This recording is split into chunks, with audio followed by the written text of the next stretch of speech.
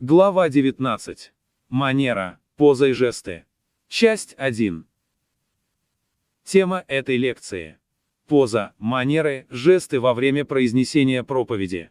Я не стану даже пытаться провести между этими понятиями четкую грань, так как они настолько тесно связаны друг с другом, что надо иметь глубоко аналитический ум, чтобы увидеть между ними различия.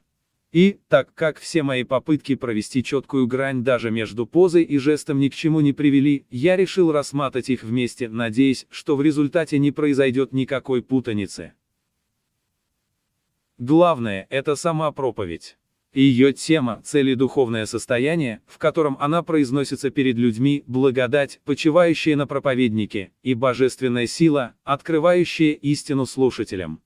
Поза и манера играют относительно малую роль, и все же даже ремешок на сандалии статуи Минервы должен быть правильно вырезан, а в богослужении даже малейшие мелочи должны свято соблюдаться.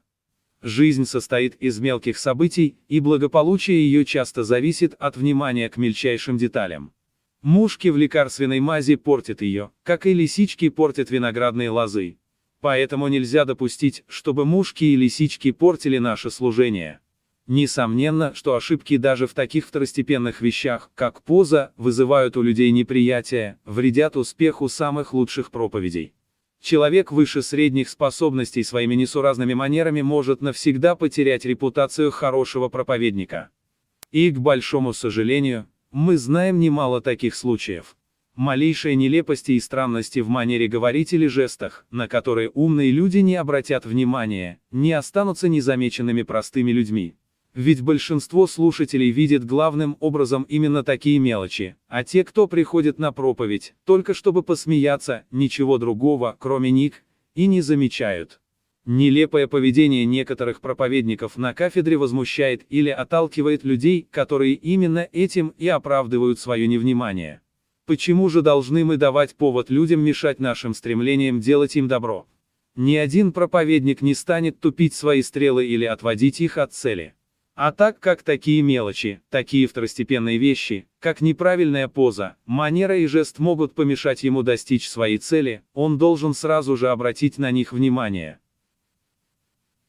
Конечно, надо признать, что манера проповедования имеет второстепенное значение, потому что некоторые, кто достигал успеха в самом высоком смысле, с риторической точки зрения, были весьма далеки от совершенства. Сейчас в Бостоне, США, есть замечательный проповедник, проповеди которого высоко ценятся. И вот что пишет о нем его дружелюбный критик. Как только он начинает говорить проповедь, руки его болтаются, как хвост беспозвоночного животного. Потом он начинает неуклюже переминаться с ноги на ногу, будто одна нога у него короче другой, трясти головой и поводить плечами и таким неимоверным образом подымает бровь, как ни один косой человек не может так сделать. Это случай превосходства содержания над формой и учения над манерой говорить.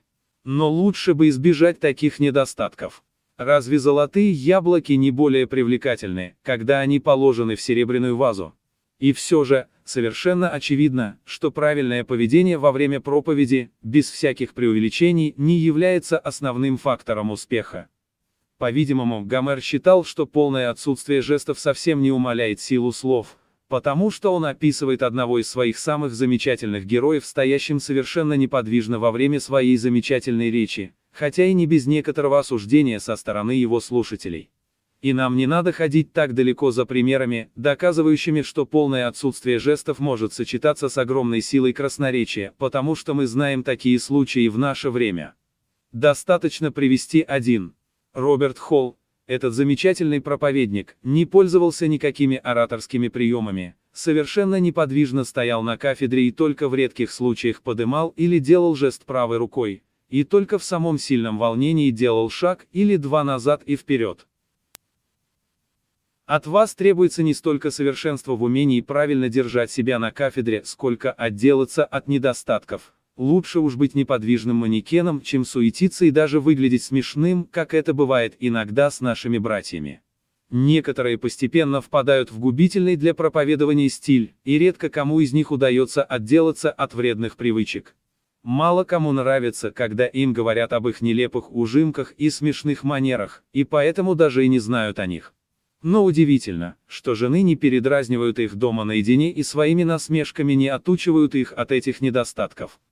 Я слышал об одном брате, которого, когда он только начал проповедовать, очень хорошо принимали, но потом он совершенно испортил себе репутацию, постепенно приобрел плохие привычки. Говорил неимоверно хныкающим голосом, принимал самые смешные позы, употребляя такие высокопарные выражения, что людям просто неприятно было его слушать. Самые благочестивые христиане говорили, что не знали, то ли им плакать, когда он проповедовал, то ли смеяться. Иногда им хотелось смеяться над его напыщенностью, а иногда охватывала жалость к такому хорошему проповеднику, который так портил себе своей нелепой манерой говорить. Если вам все равно, как вы выглядите на кафедре, то по крайней мере будьте настолько умны, чтобы избегать смешных и нелепых манер. Ведь между двумя крайностями всегда можно найти золотую середину, как, например, между щеголем с завитыми и надушенными локонами и неряхой с спутанными волосами, висящими как грива дикого животного. Мы никогда не станем вам советовать учиться перед зеркалом принимать ту или иную позу, не подражать великим богословам или благовоспитанным людям, но, с другой стороны, нельзя быть грубым и манерным. Позы и манеры – это только маленькая часть формы, а не сущность проповеди. Человек с напыщенными манерами – это, несмотря ни на что, человек. Так и плохо произнесенная проповедь может быть, несмотря ни на что, хорошей. Но все же, как никто не станет носить лохмотья, если может одеваться лучше, так и вы не будете же столь нерадивы, чтобы облачать истину в лохмотье, когда можете украсить ее как принцессу. Некоторые люди от природы неуклюжи. В этом, я думаю, надо винить условия, в которых они растут. Сельский парень неловок, походка его неуклюжа. Его естественная среда обитания – это вспаханное поле. Когда он идет по асфальту или ковру, его походка не уверена. Но по грязной дороге, когда каждый его башмак облеплен пудом грязи, она легкая и даже изящная. Так и некоторые люди по своей природе неуклюжи и неловки. И ничто не может сделать их изящными, даже если толочь их в ступе, как пшеницу. Большую пользу в наших школах принес бы сержант, инструктор, и очень ошибаются те родители, которые считают муштру пустой тратой времени. Но ничто, как она, так не вырабатывает правильную осанку и легкость. Она учит человека держаться ровно, не болтать руками, расправлять грудь, что делать со своими руками, как ходить прямо, как держать себя, так сказать, в полном порядке и при этом без всяких усилий и совершенно естественно. Глубоко религиозные люди подумают, что шучу, но отнюдь нет. Я говорю это совершенно серьезно и надеюсь, что наступит время, когда важным аспектом воспитания молодых людей будет считаться умение держаться уверенно и не быть скованными и неуклюжими. И иногда бывает, что причиной неловкости валяется неумение выражать свои мысли и волнения от сознания отсутствия этого дара. Некоторые наши прекрасные проповедники столь скромны, что теряют уверенность и потому запинаются, когда произносят проповедь, и делают нелепые телодвижения. Может быть, самым лучшим примером этому является наш высокоуважаемый Д.Р. Джеймс Гамильтон. Он был самым прекрасным, в полном смысле, проповедником, но его манера говорить была просто удручающей. Его биограф пишет. Он обладал огромными умственными способностями и знаниями, но совершенно был лишен ораторских способностей, он не умел выбрать нужный тон и высоту голоса, чтобы его было слышно в большом помещении. Он прекрасно понимал свой недостаток и очень мучился им. Конечно, отсутствие сильного голоса и умение следить за интонациями в значительной мере умаляло силу и популярность его проповедования. По тонкости же понимания, прекрасному выбору идиом, по силе сметки и оригинальных образов, пылу христианского рвения ему почти не было равных.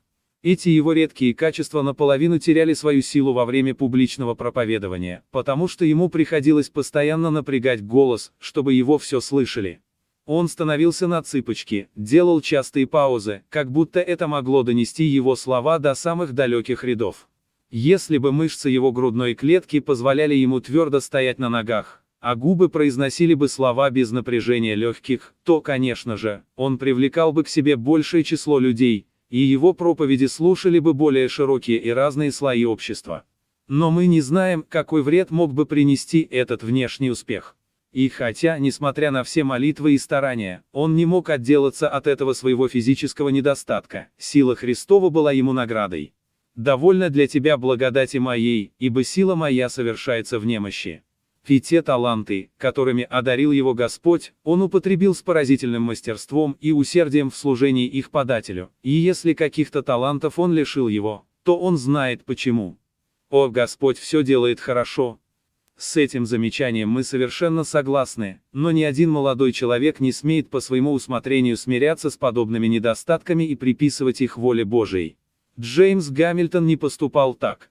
Он всеми силами старался исправить свой недостаток, и, как мы знаем, брал уроки у многих профессоров по ораторскому искусству. Он не сложил руки, как бездельник, а много трудился, чтобы овладеть им, и не удалось ему это лишь потому, что нет средства победить этот физический дефект. И когда мы видим у кого-нибудь из наших братьев такой явно неизлечимый недуг, мы должны стараться не замечать его и похвалить такого брата, заверив его, что он все делает хорошо, считая, что богатство мысли и хороший язык его проповеди покрывают недостаток его манеры говорить, и душа его торжествует над его плотью.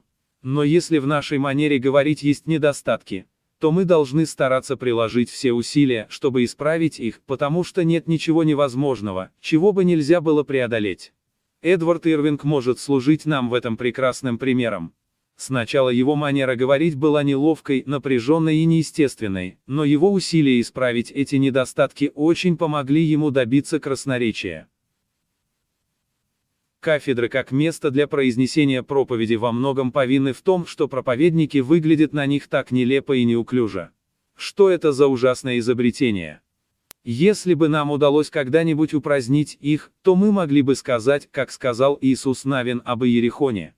Проклят тот, кто восставит Иерихон, потому что старомодные кафедры были большим проклятием для церквей, чем это кажется с первого взгляда.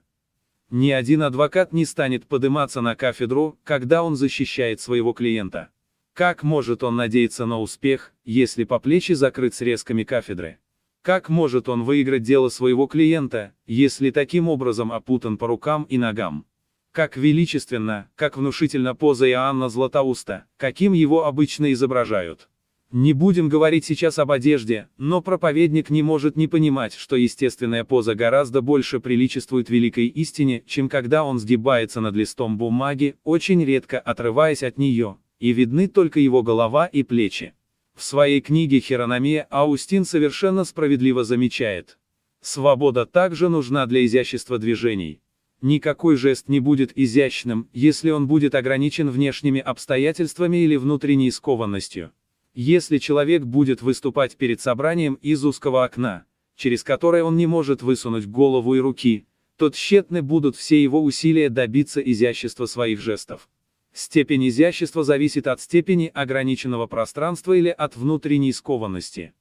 Так, переполненный зал судебного заседания ограничивает действия адвоката, как и огражденная и закрытая со всех сторон кафедра, которая часто больше чем наполовину скрывает фигуру проповедника, делает его движения скованными и неуклюжими. Покойный Томас Бини не выносил кафедры в храме и когда проповедовал, вешал свою рясу или что-нибудь другое на перила загородки. Это он делал исключительно в силу привычки, потому что проповедь никогда не может быть по-настоящему хорошей, если ее произносить из-за загородки. Закрытая со всех сторон кафедра, конечно же, еще сохранится некоторое время, но со временем люди убедятся, что благодать нашей святой веры не нуждается в кафедрах. Проповедников нельзя обвинить за их нелепую позу и смешную осанку, когда во время проповеди видна только небольшая часть их тела. Если бы стало обычаем проповедовать так, как Павел проповедовал в Афинах, то публичные ораторы стали бы хорошим примером для подражания. Между прочим, интересно заметить, что Рафаэль, изображая Павла на проповеди в Афинах, вспомнил слова апостола. Бог не в рукотворных храмах живет и не требует служения рук человеческих, потому он и изобразил его с поднятыми вверх руками. Не меньшее удивление вызывают и формы проповеднической кафедры, отражающие чудачество человеческой фантазии и глупости, достигшие предела 20 лет тому назад. Трудно даже догадаться о цели и предназначении таких кафедр. Старого образца глубокая деревянная кафедра должна была, по-видимому напоминать проповеднику о том, что он смертен потому что это был стоящий вертикально гроб. Но на каком основании должны мы заживо хоронить наших проповедников?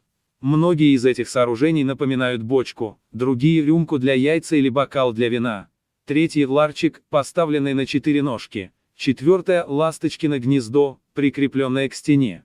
Некоторые из них настолько высоки, что проповеднику трудно повернуть голову, когда он хочет посмотреть на своих слушателей, стоящих глубоко внизу под ним, которые, смотря на него, должны ломать себе шею. Я чувствовал себя, как человек, стоящий на верхушке мачты, когда проповедовал в этих башнях для овец. Эти безобразные сооружения сами по себе пагубны и пагубны для других. Когда я стою на кафедре, я часто чувствую удушающий запах газа, который, очевидно, просачивается из газовых труб и отравляет проповедника. Мы должны оградить себя от таких мучений а также часто устанавливают большие лампы по обеим сторонам головы проповедника, сковывая таким образом все его движения и помещая его между двумя огнями. Этим как раз и объясняется вспыльчивость наших проповедников, на которую жалуются иногда прихожане. Я сам на себе испытал действие этого огня, когда сидел на кафедре и почувствовал, будто кто-то ударил меня по голове, и когда я посмотрел вверх, то увидел огромную горелку органа с рефлектором, помещенную как раз над моей головой, чтобы свет падал на мою Библию. Конечно, это замечательное изобретение, только изобретатель забыл, что его горелки излучают страшный жар и губительно действуют на чувствительные мозги человека. Никто не захочет получить искусственный солнечный удар во время проповеди. Если уж пострадать от него, то пусть это произойдет во время отпуска и от самого солнца сооружая кафедру, никто, по-видимому, не думает о проповеднике, который такой же человек, как и другие, и имеет такие же чувства и ощущения, что и они. Неудобства этих кафедр знают только те, кому приходится с них проповедовать. Обычно они столь глубоки, что человеку небольшого роста, как, например, я, почти ничего из них не видно, и когда прошу что-нибудь сделать, мне подставляют под ноги подушечку.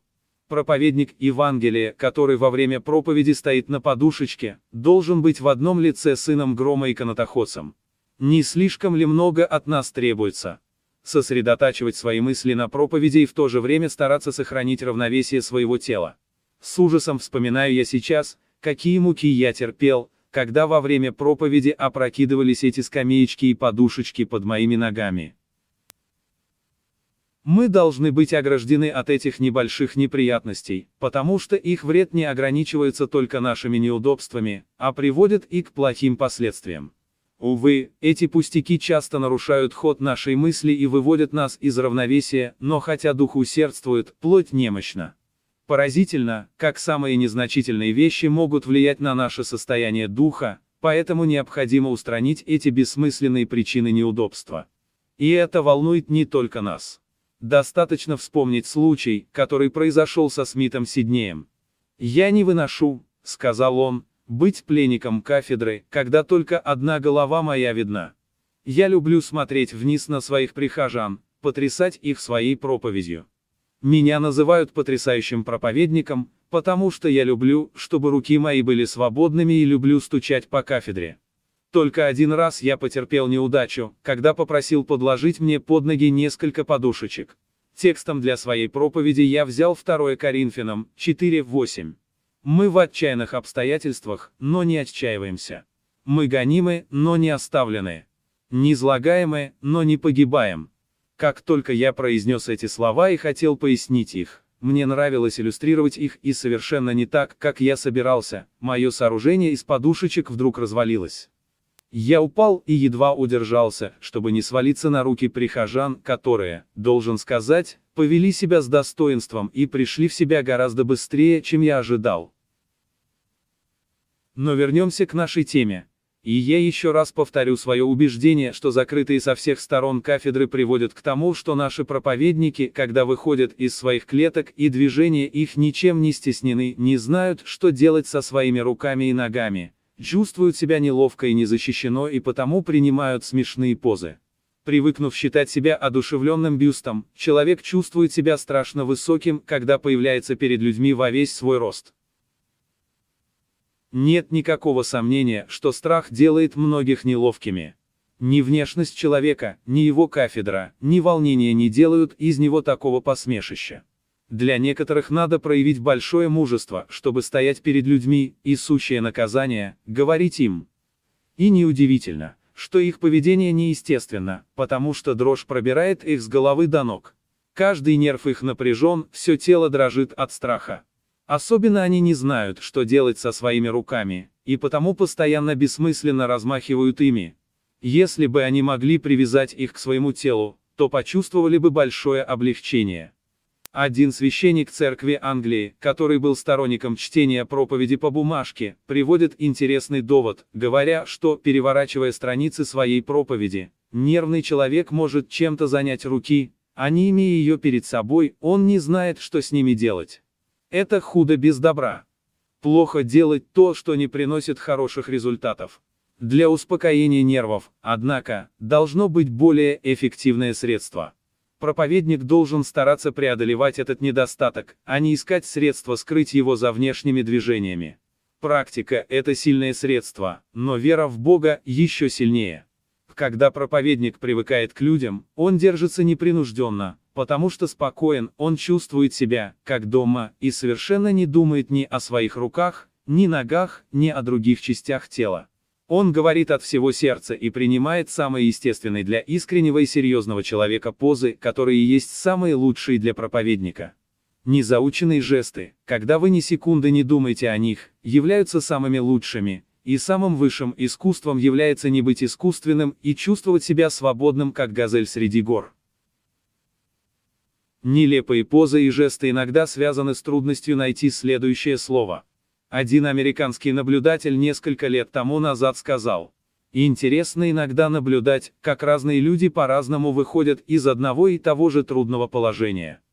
Калхаун редко не может найти нужного слова, но иногда оно застревает у него в горле, и он произносит его подобно макбетовскому «Аминь».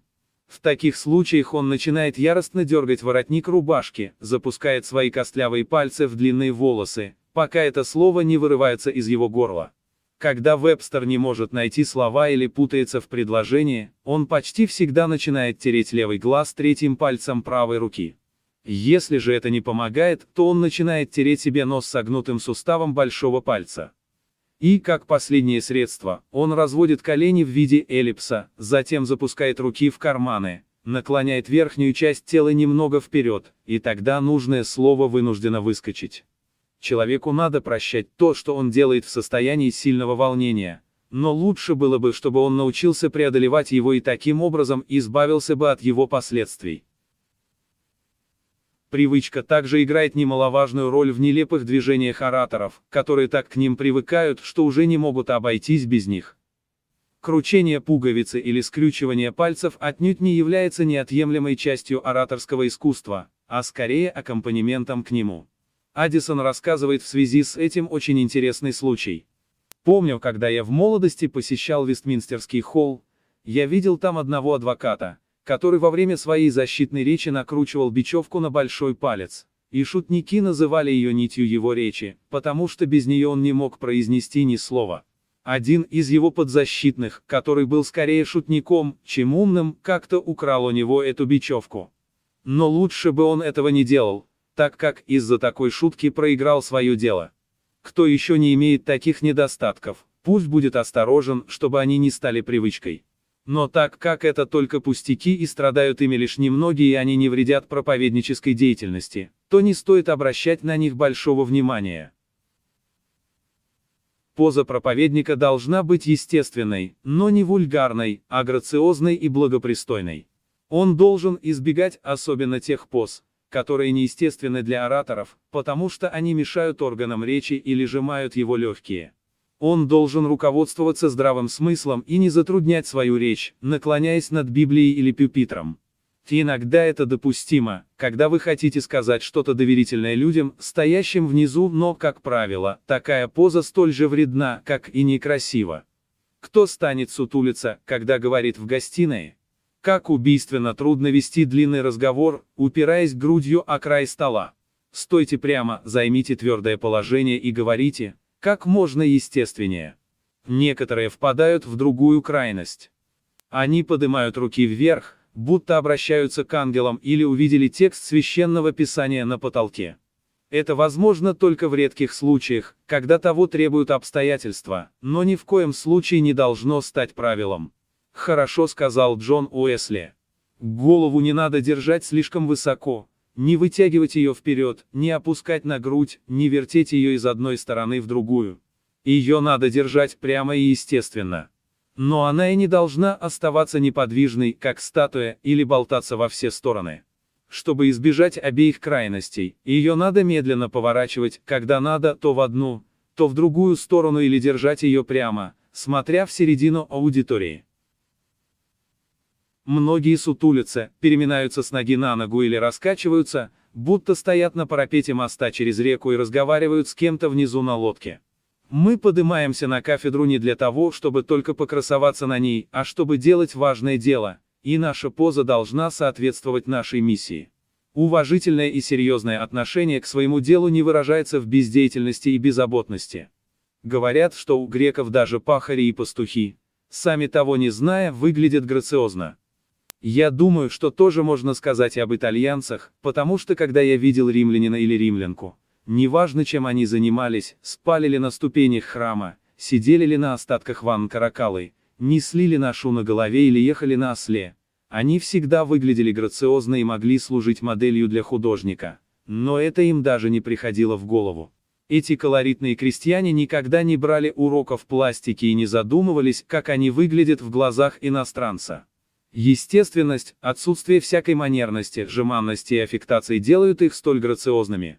Нам глупо подражать грекам и итальянцам, разве только отсутствию у них всякого подражания. Но нам следовало бы научиться держаться, как они, столь же свободно и естественно. Христианину не подобает быть клоуном, а проповеднику – чурбаном. Как сказал Роланд Хилл, он не мог понять, почему у сатаны должны быть самые лучшие манеры, так и я не пойму, почему у него должны быть самые лучшие ораторы. Но оставим позу и поговорим более подробно о движениях во время проповеди. Это также второстепенная, но все же важная вещь. Во-первых, они никогда не должны быть чрезмерными. Здесь физические упражнения мало чем помогут. Мы не можем судить о степени чрезмерности, потому что у разных людей она разная, что для одного чрезмерно, то для другого может быть нормальным и естественным. Жестикуляция людей одной национальности отличается от жестикуляции людей других национальностей. По сравнению с французами, англичане разговаривают между собой спокойно и сдержанно. Посмотрите на наших французских соседей. Они говорят, как заведенная машина, поводят плечами и страшно жестикулируют. Поэтому французскому проповеднику можно проповедовать более эмоционально, чем английскому, потому что француз всегда говорит эмоционально. Я не уверен, что так считают и французские богословы, но если это действительно так, то это объясняется их национальным характером и привычкой. Если же вы и я начнем разговаривать как парижане, то будем выглядеть смешными, так и если начнем неистово жестикулировать на кафедре, то вызовем усмешку у наших слушателей, потому что, как говорит Адисон, английские ораторы меньше жестикулируют, чем ораторы других национальностей. Так и разные люди. Одни жестикулируют больше, чем другие, и если они делают это естественно, то едва ли их можно порицать за это. Например, мы не можем осуждать Джона Гафа за его неистовую жестикуляцию и хождение во время проповеди, потому что без них он бы не был Гафом. Поразительно, сколько миль он проделывает во время одной своей проповеди. Разве мы не видели, как он взбирался на вулкан в погоне за одним пузырьком газа? Как нам было жаль его, когда он ступал по раскаленной лаве. Потом он мчался в другой конец сцены экстер-холла и хватал стакан воды, но задерживался только на секунду и снова мчался назад, приводя в замешательство сдержанных братьев в первом ряду. Однако позволить себе это мог только Джон Гафф, но если вы, Джон Смит или Джон Браун, начнете так метаться по кафедре, то будете подобны вечному жиду или белому медведю в зоологическом саду, который ходит взад и вперед по своей клетке. Говорят, что Мартин Лютер так сильно стучал кулаком по кафедре, что однажды разбил доску, я думаю, в три дюйма, когда критиковал какой-то текст. Очевидно, это легенда, потому что едва ли эти нежные руки, которые так изумительно играли на гитаре, могли быть такими грубыми, но если рука человека выражает его характер, то в это можно поверить, потому что Лютер изумительным образом сочетал в себе силу и мягкость. Лютер отличался тонкостью и чувствительностью, и сила его духа только увеличивала, а не ослабляла их. Совсем не трудно поверить, что он мог разбить доску пополам, если вспомнить, с какой силой он крушил римского папу. И мы можем поверить, что руки его были мягкими и нежными, когда они касались струн гитары. Даже Давид прекрасно играл на арфе, и этими же руками сломал стальной лук. Говорят, что Джон Нокс был таким хилым, что перед тем, как подняться на кафедру, боялись, что он вот-вот упадет в обморок, но когда он уже стоял на ней, то казалось, что он разобьет ее в дребезги. Таким он, очевидно, был в тот период, когда протестанты боролись за свое существование, что приводило в бешенство папу и его священнослужителя и дьявола с его ангелами. Однако я не думаю, что Меланхтон считал нужным быть таким неистовым, как и Кальвин не крушил таким образом своих противников. Во всяком случае не надо вам разбивать кулаком трехдюймовую лоску, потому что в ней могут быть гвозди, как и не надо разбивать в куски кафедру, потому что можете остаться без нее. Взывайте к совести людей и крушите их каменные сердца силой Духа Святого, но для этого надо иметь духовную силу. Физическая сила – это не сила Божия в спасении людей. Очень легко перестараться и выглядеть смешным. Дэр Джонсон очень хорошо понимал эту опасность и потому запретил всякие движения во время проповеди и высоко ценил Дэра Уотса за то, что он не подкреплял свое красноречие никакой жестикуляцией. Так как никакие движения не соответствуют богословской истине, он не считал, что они могут усилить ее. Едва ли можно согласиться с этим замечанием, но если выбирать между двумя крайностями, то лучше уж проповеднику стоять неподвижно на кафедре, чем слишком сильно жестикулировать. Я думаю, что Нафан совершенно спокойно говорил свою притчу Давиду, и только перед тем, как сказать «Ты тот человек», он грозно посмотрел на царя. А вот молодые проповедники полагают, что пророк большими шагами дошел до середины комнаты, выставил правую ногу вперед, ткнул пальцем, как пистолетом в глаза царя и громко топнув ногой, закричал. «Ты, тот человек». Если бы это было так, то думаю, что обвиняемый царь посчитал бы пророка безумным и приказал бы страже выставить его из зала. Нафан слишком серьезно относился к своим словам, чтобы произнести их с таким неистовством. Глубокое чувство, как правило, выражается в сдержанности, а не излишестве жестов. Кто переливает из пустого в порожнее, кричит, неистовствует, топает ногами, тот пустослов, но чем больше он знает, что он говорит, тем меньше он будет неистовствовать. Джон Уэсли предъявляет слишком большие требования к проповеднику, когда говорит. Он никогда не должен ломать свои руки, стучать по кафедре, часто подымать руки выше головы. Но, очевидно, он имел в виду какие-то исключительные случаи. Однако он прав, когда предупреждает своих проповедников. Не надо постоянно двигать руками, потому что древние называли это болтанием рук. Совершенно правильно говорит Рассель. Подлинная страстность никогда не доходит до неистовства и крика. Это сила вдохновения, а не иступления. Она не выражается в крике и ярости, топанье ногами и кривлянии. В самом сильном волнении она всегда ревностна и благородна. Она возвышает, она не унижает. Она никогда не опускается до крика, грубости, визга истерического тона, хвостовства и ударов кулаками. Когда вы считаете необходимым проиллюстрировать свою проповедь, будьте очень осторожны, чтобы не переусердствовать, потому что это может произойти раньше, чем вы то сами заметите. Я слышал, что один молодой проповедник, обращаясь к неверующим, воскликнул. Увы, вы закрываете свои глаза на свет. И тут он закрыл оба глаза. Вы затыкаете уши, чтобы не слышать правды. И здесь он заткнул пальцами оба уха. И вы отворачиваетесь от спасения. И здесь он повернулся спиной к ним. И неудивительно, что, увидев его стоящим к ним спиной, заткнув уши пальцами, они начали смеяться. Эти жесты, может быть, и были иллюстративны, но проповедник здесь переусердствовал и лучше бы их вообще не делал. Сильная жестикуляция, даже если и нравится кому-то, в большинстве случаев вызывает только смех. Когда Бёрк, выступая в палате общин, бросил об пол кинжал, чтобы показать, что англичане куют мечи против своих соотечественников, его жест, как мне кажется, был здесь впечатляющим и уместным, и все же Шеридан сказал. Джентльмен принес нам нож, а где же вилка? И Гильрей зло изобразил его в карикатурном виде. Умеренность жестов менее опасна, чем их излишество. Поэтому будьте осторожны. Если вы чувствуете, что ваши жесты во время проповеди слишком уж энергичны, то умерьте свой пыл. Меньше размахивайте руками, более милосердно стучите по Библии и вообще говорите более спокойно.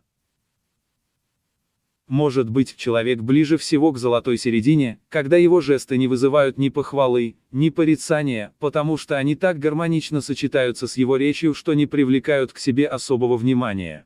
Жест, который бросается в глаза, неуместен и излишен. Ген Холл провел как-то вечер с Жанной Мор, и его суждение о ее манерах может послужить критикой манерности проповедников. Ее манеры были настолько совершенны, что ничем не поражали. Манеры, которые поражают, это плохие манеры. Она настоящая леди, она избегает всякой эксцентричности, которая является манерностью.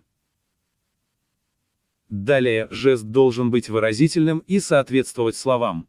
Мы не можем в полной мере выразить жестом то, что выражаем словами, но иногда жест может быть сильнее слова.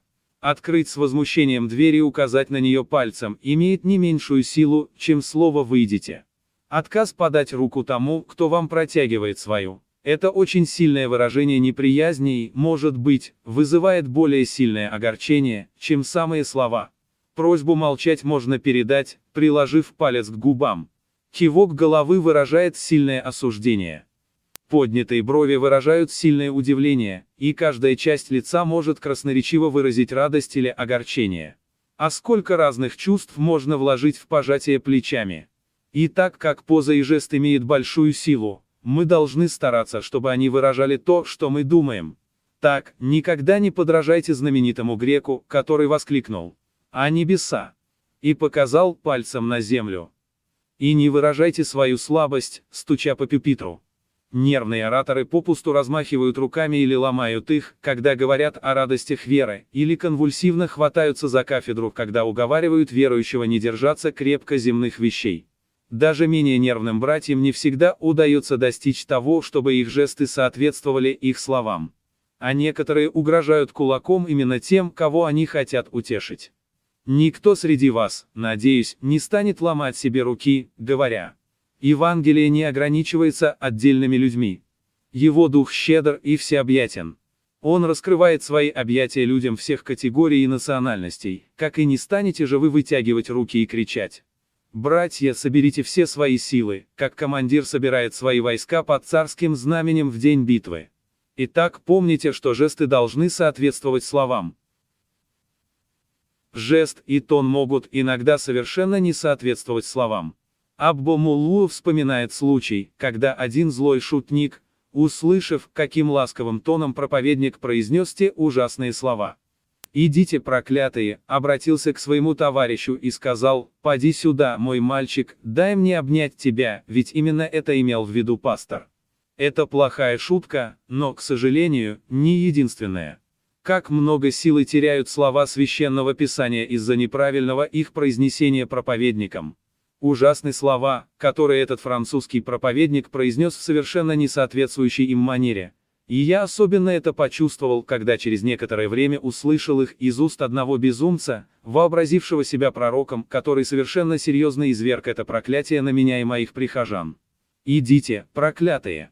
Как раскаты грома, сорвались они с его уст, и последнее слово, казалось, пронзило саму душу, когда этот фанатик с пылающими глазами и вытянутой рукой бросил его в собрание. Много, ох, как много проповедников, по-видимому, брали уроки у Бендига или другого профессора по искусству самообороны, потому что они сжимают кулаки, будто готовы броситься в бой. Как ужасно видеть братьев, проповедующих Евангелие мира таким воинственным тоном или всепрощающего Христа, угрожая кулаком. Смешно смотреть, как они становятся в позу и говорят. «Придите ко мне мне», и, размахивая затем кулаками, продолжают. «И я успокою вас». Господа, меня нисколько не удивляет, что вы смеетесь сейчас над этими глупыми случаями. Но лучше смейтесь здесь, чтобы потом над вами не посмеялись ваши слушатели. Не думайте, что я что-то выдумал, и боюсь, что мне придется еще не раз увидеть такие нелепости. Эти неуклюжие руки, если научиться ими управлять, могут стать лучшими союзниками. Мы можем разговаривать ими, как нашим языком, и извлекать из них молчаливую музыку, которая сделает наши слова еще более привлекательными. Если вы не читали книгу «Рука сэра Чарльза Бёля», то я советую вам обязательно прочесть ее и обратить особое внимание на следующий отрывок. Мы не должны упускать случая говорить руками, как инструментом выражения наших мыслей. Об этом были написаны диссертации. И лучшим примером могут нам служить великие художники, потому что положением рук по отношению к телу они выражают все чувства человека. Кто, например, станет отрицать красноречие рук Магдалины на картинках Гвидо или их выражение на полотнах Рафаэля, или в «Тайной вечере» Леонардо да Винчи? Мы видим там выражение всего, что, как говорит Квинтилиан, может выразить рука.